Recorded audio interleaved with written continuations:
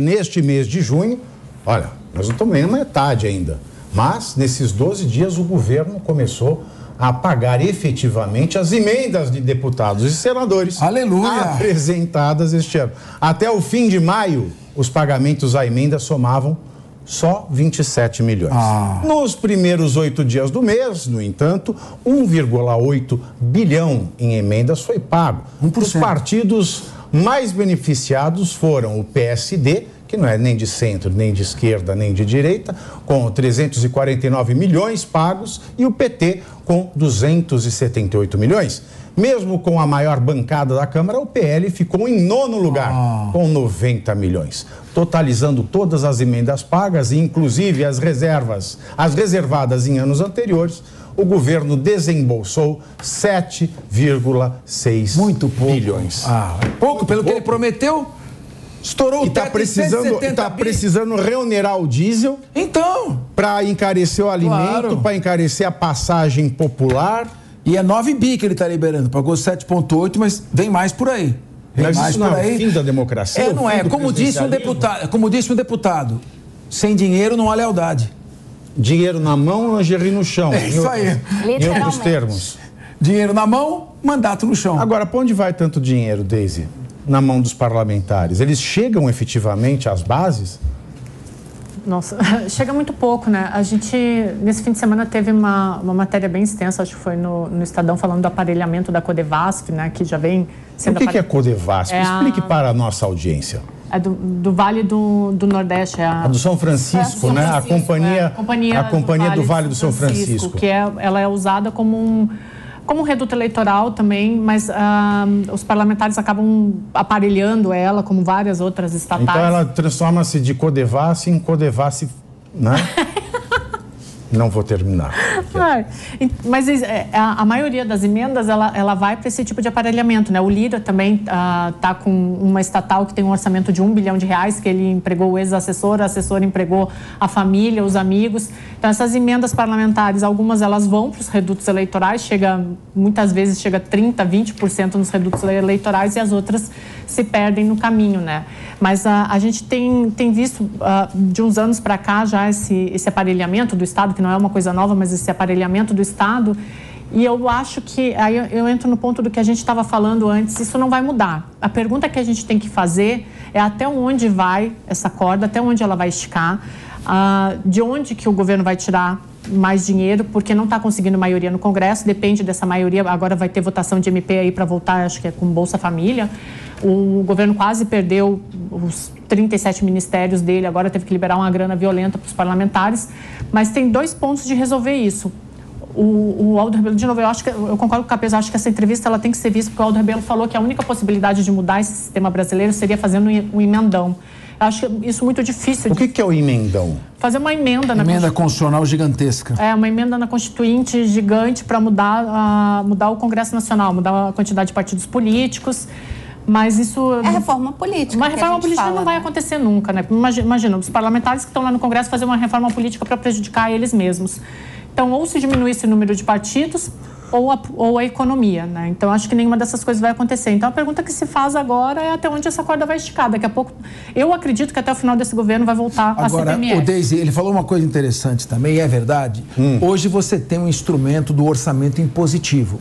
Ou seja, independentemente do parlamentar ser oposição, ser situação, xingar ou elogiar, ele tem uma cota de emendas parlamentares que lhe é garantida para que ele possa fazer o seu mandato. Então, isso aí que está sendo pago é a mais em relação aos demais. E ele disse o seguinte, que eu concordo também.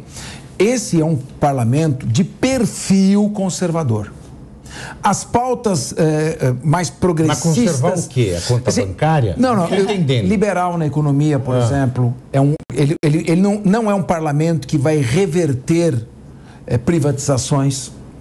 Não é um parlamento que vai contribuir para um inchaço excessivo da máquina, porque para isso ele precisa de emendas constitucionais ou de maioria para a lei complementar. Esse, esse tipo de maioria ele não conseguirá com esse tipo de pagamento. O máximo que ele vai conseguir são alguns projetos, eu diria que essenciais para manutenção do governo, como a, a- PEC dos ministérios, a, a, MP dos ministérios, que sem isso o governo para completamente. Isso aí ele pode conseguir através de dinheiro.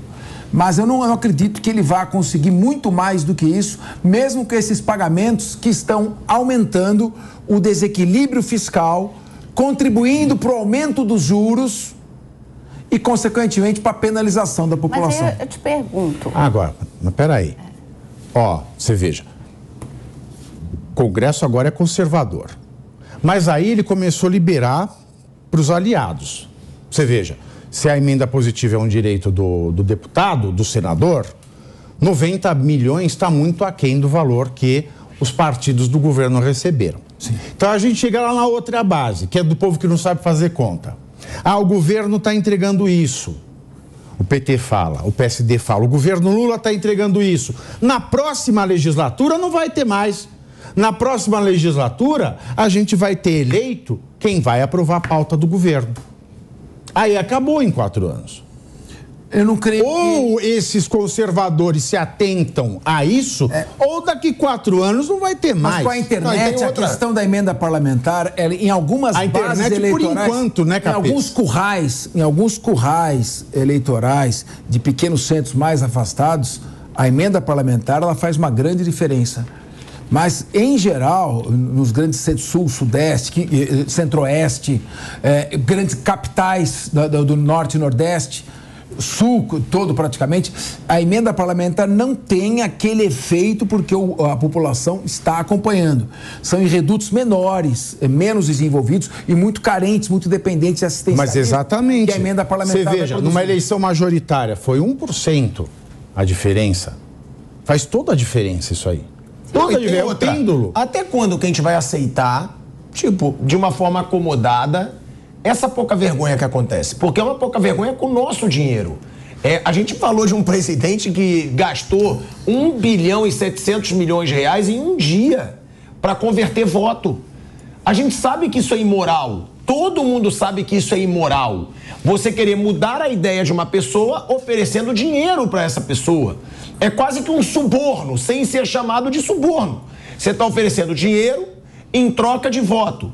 E a gente não faz nada. Eu acho que, cadê? Até os deputados, senadores que eu sempre cobro, até o povo brasileiro. Porque virou uma, uma tática imoral que aceita. Porque é falado, é falado na Você cara veja, dura, na frente do com, com 300, é com 300 milhões, ele zerava a fila do Bolsa Família. Mas ele ofereceu, era isso até que eu queria é, ouvir do doutor Capês. Ele ofereceu ou isso aí foi, na verdade, é uma política, uma imposição do senhor Lira, principalmente que perdeu sua força por conta de ter acabado o orçamento secreto? Não, que perdeu. Aí agora está com o orçamento o partido, ultra secreto. Mas o partido mas do Lira é o PP. Isso. O partido do Lira é o PP. O Lira deu uma forçada e principalmente na questão é claro, é óbvio que se o governo, é óbvio que se o governo ele tem prestígio perante o Congresso Nacional, ele exerce liderança, ele não precisa desse tipo de expediente, que é um expediente que corrói as finanças, evidentemente.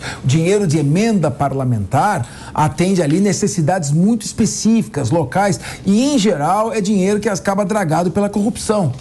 Tem sempre obras superfaturadas, que, tem, que acaba, as investigações acabam. Então, é um dinheiro mal gasto. Certo. Então, para um governo ter que gastar isso aqui, é claro que a coisa no Congresso não está andando. Sim. E não é só culpa do Lira. Isso é falta de articulação do governo também. O governo tem que saber articular corretamente, trazer pautas que sejam pautas absurdas, é, discursos que chocam e assustam o, a sociedade e o parlamento, não contribuem para isso. E o presidente está falando reverter a privatização da Eletrobras, Mas ele só reverter tem a questão pauta absurda. Então, isso aí é isso que criando, absurdo. é isso que cria dificuldade. Aí não há dinheiro que chegue. Por mais dinheiro que pague para emendas parlamentares, alguns deputados estão sentindo a pressão das suas bases, sobretudo dos eleitores, nas suas redes sociais, e muitos se elegeram com base nisso, nessas redes sociais, e eles efetivamente não vão ceder em troca de dinheiro. Mas Alguns estão cedendo irão, em muitos assuntos. Sim, não, mas não nos principais. Eu não vejo o Lula ter grandes vitórias no Congresso É o aumento Nacional. do Ministério, que é um escândalo. Não, Mas então, o é... aumento do Ministério foi uma... Veja bem, é uma medida provisória que se ela não passa, corrói, cai inteirinho o governo. Tudo que foi feito pa paralisa. É, e tu, mas que tudo que foi feito. Não, estou dizendo, essa é tudo que foi Não, mas feito, essa é uma medida provisória que tinha que ser aprovada para sobrevivência do governo. Ah, tá bom, mas... E ainda assim ela foi aprovada no último minuto. Mas Foi um recado Lira, dado. O, o, recado dado pelo Lira, que mostrou que ele tem a força, que quando ele quer Mas dar qual, que prioridade... recado é esse? Que ele recado é esse? que ele é, é se pagar direitinho, eu te chamo de meu Exato. amor? Não, ele Lula- tem uma força Lula- relativa. Lula vai ter que Ele tem uma força relativa. ele. Se acertar com ele, Isso. se acertar com ele e não Isso. acertar com os parlamentares, ele cai num segundo. Ninguém mais obedece ele pra nada. Vão falar, ah, quer dizer que você tá negociando pra você? Capês, o aumento do ministério, o é um aumento presidente- Eduardo Cunha? Não, o presidente da Câmara dos Deputados só tem apoio dos seus parlamentares se ele negociar para os parlamentares. Se, se ele negociar só para ele, é. ele não tem apoio nenhum. Não, e o aumento dos ministérios, né, a gente tem que apontar que é uma grande derrota, porque não é porque o Lula quer. Ah, como teve aí uma deputada que, que disse que é conservadora, ah, eu votei porque eu sou a favor do Ministério das Mulheres. O Lula não quer criar ministério, o Lula quer ter moeda de troca. A gente vê a forma como o Lula governa. Aumento de ministério para o Lula é mais cargo para ele oferecer em troca de votos. Então, claro que isso é uma derrota gigante. Assim como reverter privatização. Assim como reverter privatização. Empresa pública, desculpe, é, é a teta da vaca que todo mundo quer mamar, evidentemente. Então, quando você diminui o tamanho do Estado, você diminui a margem de manobra do governo com esse tipo de parlamentar. E aí, como é que você fica com o quê? Com projetos estruturantes de médio e longo prazo, que são aque- aqueles que vão salvar o país. Mas, pessoal- Não, essa, não, não essas medidas é, é, demagógicas, populistas, de curto prazo, E como pra estamos mim, vendo o aqui. principal que pouca gente, pra mim, o principal que pouca gente fala hoje em dia é pra onde vai esse dinheiro. É, Foi a primeira gente, pergunta que o Pavinato fez. Eu vejo grande maioria, com eu vejo grande maioria dos é esse políticos dinheiro? Esse dinheiro é uma emenda, é uma emenda que vai ao orçamento.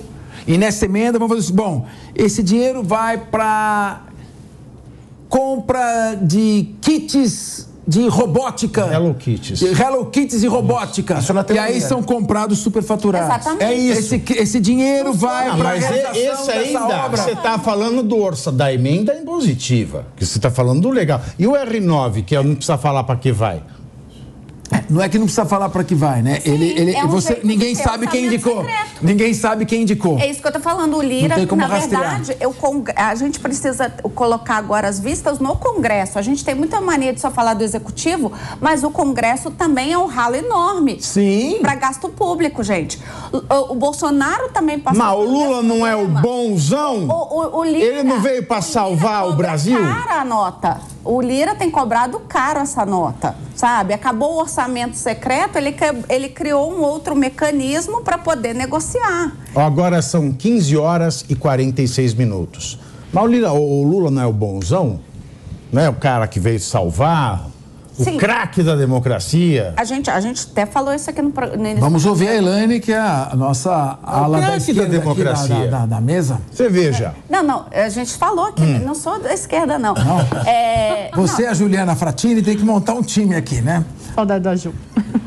A Ju. é, na verdade, assim, a gente falou isso aqui no início do programa. O Lula está muito mais olhando para A as Janja. questões internacionais, para a Janja, do que propriamente por negociar internamente. A- essa falta do Lula negociar com o Congresso, ela é clara e a gente vê que nem Padilha e nem Rui Costa têm conseguido também assumir esse papel. Está muito claro isso.